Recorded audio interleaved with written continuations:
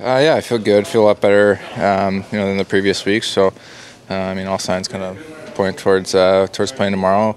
Uh, I thought today's practice was uh, was a good sign. So, what do you think the challenges are for this team the rest of the way right now?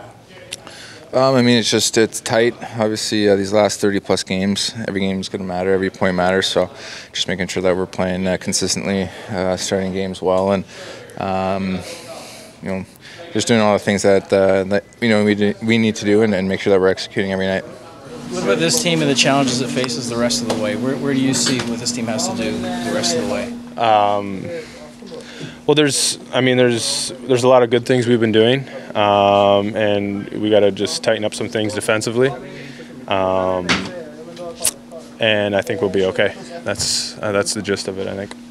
How has the foot felt? Are you going to be playing through a little pain? No, the yeah, no, no, no, foot feels yeah feels ready to go. And seeing you in most nights after a game, you're you're feeling it some way or the other. I don't think this is going to change the way you play.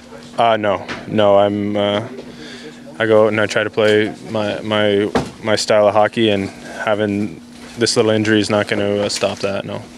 And some experience playing with Zach Hyman and a pretty good year in Hamilton for him and, and the rest of that team, if I recall. Yeah, uh, me and him played uh, together. Uh, must have been almost nine years ago. Uh, so yeah, I knew uh, I knew Zach from then as well.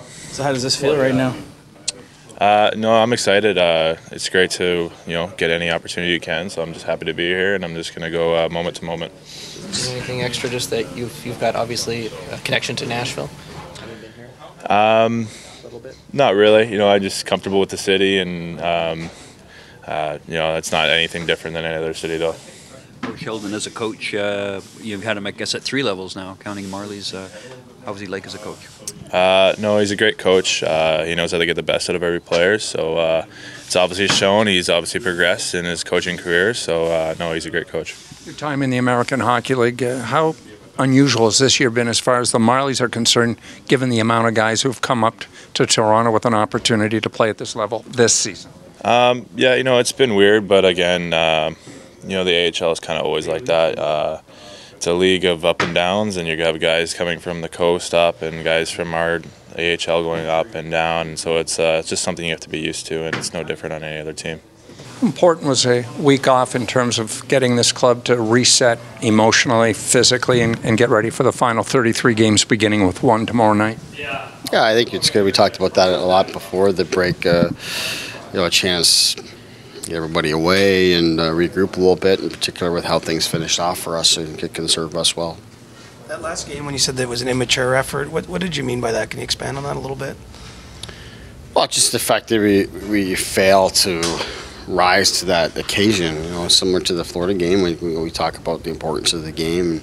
In Chicago instance, it's the last game before a break when things hadn't been going all that well. It was a good chance for us to finish it off the way that we would like to, and you fail to do that. And I think that's that's not what you want to be about as a team. You want to rise to those occasions, and you want to uh, finish the job. Uh, so the fact that we've we weren't able to do that is uh, disappointing. But we think that's that's where there's an area of, of growth and opportunity for our team the mathematicians among us have figured out the points we think you're going to need. How are you guys looking at it as to what it's going to take to uh, number of points and wins to get back in this thing?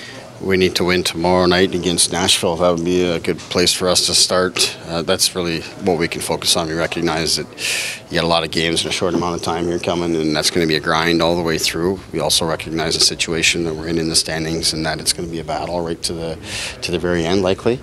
Uh, but we got to focus on every day as it comes, and uh, we started with today with our practice, and uh, what I thought was a good and productive meeting to kind of set the tone for what remains and the, the job that, that that's ahead for us. And also, you know, we tried to paint a picture to our guys that you know it's, it's, easy to focus a lot on how things finished in the last six games in particular uh, before the break there but you know that's a that's just one sample. You look at a bigger sample, and, and it, it presents a, an entirely different picture in terms of the progress that we've made as a team and reason for us to believe that we can uh, get things moving back in the right direction.